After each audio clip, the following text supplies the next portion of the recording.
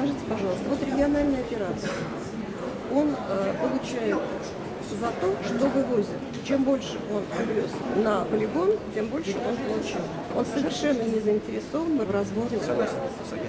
Если создается единая цепочка, региональный оператор, перерабатывающий предприятие, тогда региональному э, оператору будет выгодно туда возить Согласен отсортированный мусор. Согласен.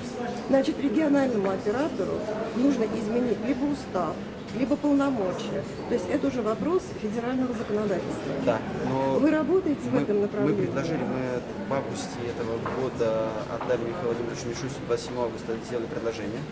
А, Российское логическое движение выступает за стопроцентный ров.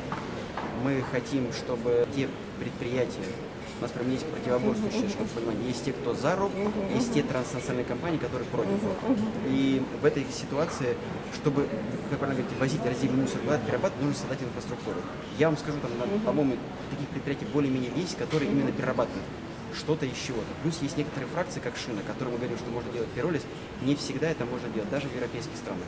Наше законодательство, сравнивая с соседней Финляндией, общаясь с ними по опыту, поверьте, оно более как бы э, выстроено в правильном направлении, чем те же европейские вещи. С вами согласен, все, что сейчас занимается, намусорили, вывезли, заработали. Заработали. А чтобы это нужно сделать, нужно день, деньги, чтобы создать инфраструктуру, там, переработки шин, не знаю, там, бумаги, пластика, все эти вещи. Так это самое главное, что должно сделать, по нашему мнению, не за счет государства, а те люди, которые заставляют.